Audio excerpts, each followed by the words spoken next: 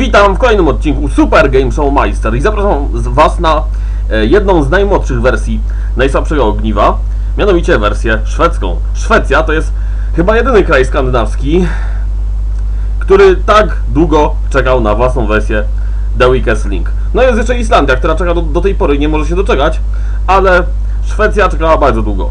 Dania mia, miała już w 2001 roku. E, Podobnie Finlandia w 2002, Norwegia w 2004. Natomiast szwedzka wersja tego programu, Svagestelänken, zadebiutowała na antenie kanału Siwan, co po szwedzku znaczy po prostu 7, dopiero w roku 2011 i była emitowana do roku 2013, czyli przez 2 lata. Program ten prowadziła Kajsa Ingemarsson. Natomiast używano brytyjskiego formatu, yy, gdzie było 9 uczestników, było 8 rund, pierwsza trwała 3 minuty, po prostu wszystko było tak samo jak w Wielkiej Brytanii. Finał i tak dalej. Natomiast jeśli chodzi o yy, łańcuszek, to wyglądało tak samo jak w Wielkiej Brytanii, tylko każdej z kwot dopisano 1-0. I tak zamiast 1000 do wygrania było 10 tysięcy koron szwedzkich, a w całej grze główną nagrodą było 100 tysięcy koron szwedzkich. No tak, dla e, formalności. Łańcuszek składał się z, na, z następujących kwot. 200, 500, 1002, 3, 4,5, 6, 8 i 10 tysięcy szwedzkich koron.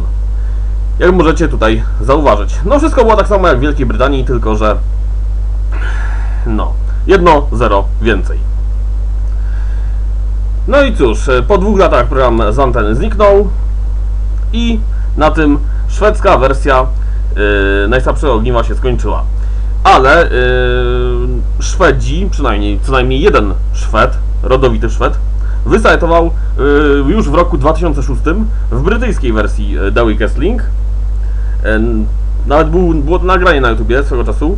Per, miał na imię Per i był typo, no, czystym emigra emigrantem ze Szwecji, właśnie w Wielkiej Brytanii mieszkającym.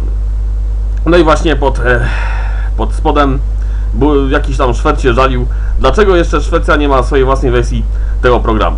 No ale jak widać w sumie się doczekała. 11, długo trzeba, bo, trzeba było czekać, ponieważ całe 11 lat, ale było warto. Tak myślę. No i yy, z tym, tym optymistycznym akcentem kończę dzisiejszy odcinek. Dziękuję Wam za uwagę i do zobaczenia w kolejnym. Cześć!